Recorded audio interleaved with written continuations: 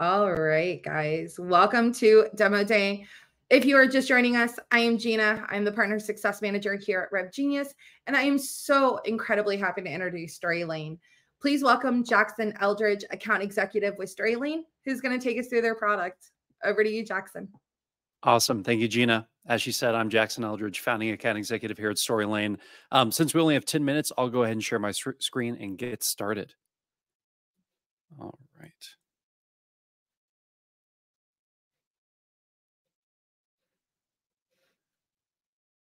Okay, to start, want to share some um, some some slides, kind of talking about what are interactive demos, level set, and then walk through the agenda for the next 10 minutes. So, interactive demos, what are they? They are self-serve demo experiences that can take buyers through top of uh, through the top features and use cases in your product. They're immersive and interactive. So, demo viewers, they're not passively engaging like watching a video. They are actively engaging every step along the way and then driving action in the platform by clicking and going through different commands. And these interactive demos can be built with screenshots, HTML, or video clips. Um, you know, to to compare uh, interactive demos to other formats in tech, you know, compared to a Loom or, or video demo viewers, they're going to be driving the action instead of passively watching. And there's more control and exploration by choosing various demo chapters, branching paths, and clicking through the product. Um, comparing to a digital adoption platform, you don't need to be logged into your software to see the guided steps. Clone demo experiences can be embedded to a web page or shared via link, and they can be viewed asynchronously outside of your platform. And then compared to a live demo environment, Storylane demos don't require engineering upkeep or data cleansing. Um, they can be data rich and personalized without work from your technical counterparts. So great for go-to-market teams, um, you know, sellers and, and marketers. Now, think about some top use cases for interactive demos in Storylane. in the marketing use case, these can be embedded to uh, these interactive product tours can be embedded to your website to convert top of funnel leads and give them a way to demo the product without having to talk to sales.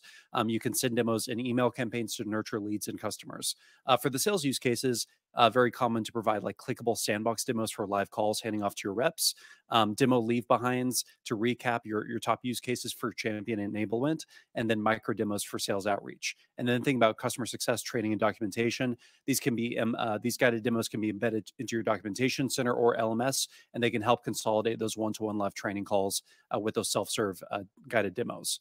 So looking at the agenda for the next 10 minutes, we're going to capture some product screens using Storylane's plugin. We're going to build out a guided demo in less than five minutes. Then we're going to look at the difference between um, screenshot demos and then our HTML demos, how to capture demo screens with HTML and use our no-code editor to uh, edit and manipulate the content. And then we're going to show a sandbox demo and a demo leave behind built in HTML. So getting right into it, I'm going to go to Mercury's banking platform. This is my example demo environment. I'm going to be opening up the Storylane plugin, create new demo, and I'm going to start capturing screenshots. After this countdown, Storylane is going to be tracking all my clicks, creating screenshots, showing page transitions, and taking a video file of the whole session. So I'm going to click through as I normally would in my workflow. I'm going to enter a customer account Google. And then up in the top right, you can see the Storylane plugin says six screens already. I'm going to finish capturing and it's going to show me a, uh, a preview of my various steps. So it's going to insert a mock title card and then place a hotspot on every click and then show those page transitions. So I'm going to jump into the editor. So now here in Storylane's demo builder, we have our flow builder here on the right-hand side. So the plugin automatically sequences the steps number one through nine, and then I can click in here and start adapting the content. So I'm going to say, welcome to Mercury. Then on step two, we are actually clicking in the product. We are clicking on the home button. I'm going to use a backdrop and spotlight to put a vignette around the feature of interest and make it a clickable area. Then I'll go here to write my content. I'm going to say homepage. I can use AI Assist to help me generate content faster. So from that short prompt, I can write, write a larger guide, decide to revise it, and then I'll use that version of the prompt. Also have the option for adding voiceover. So here on the left-hand side, I can record this in application, or I can generate the voiceover using AI in a number of different languages and accents. I'm going to play the preview. I'm not sure if it's going to come through the microphone, but we'll see.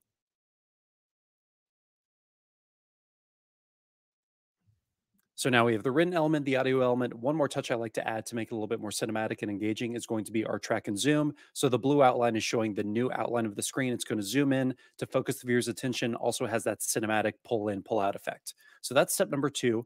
Then to step number three, I could drag this to a diff different element. I'm going to swap out my guide type and just a quick look at the different guide types you can use to tell your story. You have your hotspot, tooltip, media modal, text modal, or lead form. I'm going to swap out to a tooltip, set my drop shadow, add my messaging, I'll say money graph. And then I also have the option for adding like a talking head explanation. So I'm going to go here to add video and then record a quick blurb similar to a Loom. And I'll say, hey, here's more explanation about feature XYZ. I'm going to end the recording and save it to that step. Very nice. And then ideally at the end of the demo, we are going to present a call to action. Let's say ready to see a personalized demo. Question mark. And then for this button, I'm going to relabel the call to action button to book demo, and I'm going to link it out to my demo booking page URL right here. So within a couple of minutes, here's what we built out. I'm going to publish. I'll drop the share link into the chat so you can click through on your own monitor. And then I'll just click, th click through a quick preview to show you the, the uh, added animations, the voiceover. So we've got our, our title card,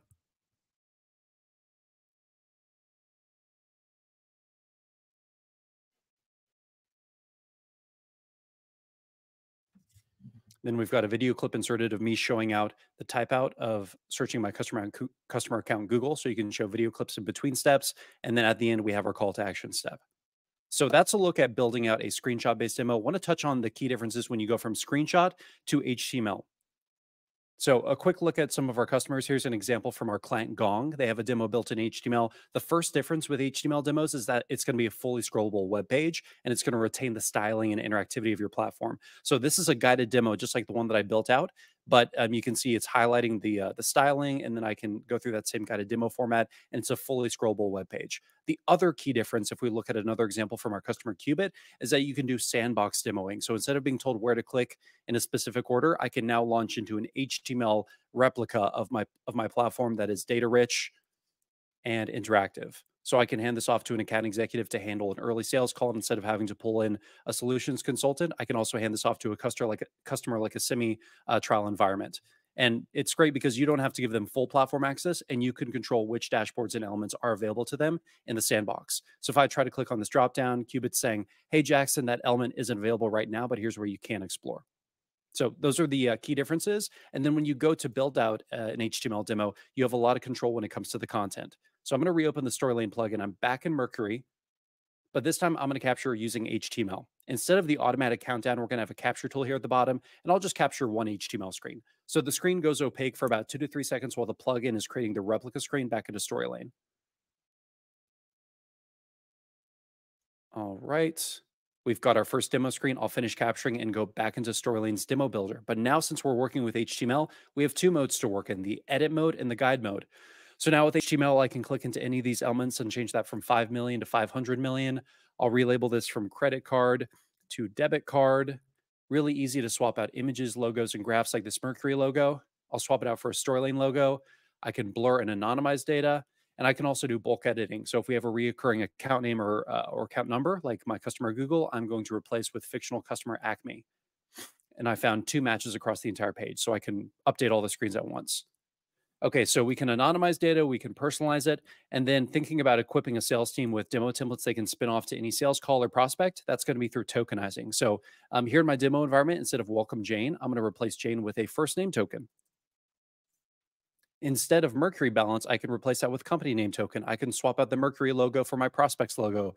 That way, um, when my salesperson is prepping for a call, they don't have to go to the solutions consultant and say, "Hey, please pipe in this custom demo data for me." They can take it uh, take it uh, upon themselves to do that. So, with our final two minutes, I want to show an example of what the sandbox demo and and spinning off a demo leave behind would look like. So, I'm here in my Storylane workspace, and I have this template called HTML Product Tour. So even being like a non-technical person, a sales rep, I'm going to go here to the share modal. Let's say I have an upcoming call and I'm going to create a new link for my customer Jackson at Storylane. So I'm going to spin off a custom link for this template. I'm going to tag it to Jackson's email so all the analytics flow back into the CRM. Like if I send it to Jackson, I can see he made it 80% of the way through, and that will flow back into Salesforce or HubSpot. Now, here's where that sales uh, person can personalize the demo experience. So we have the personalized tab.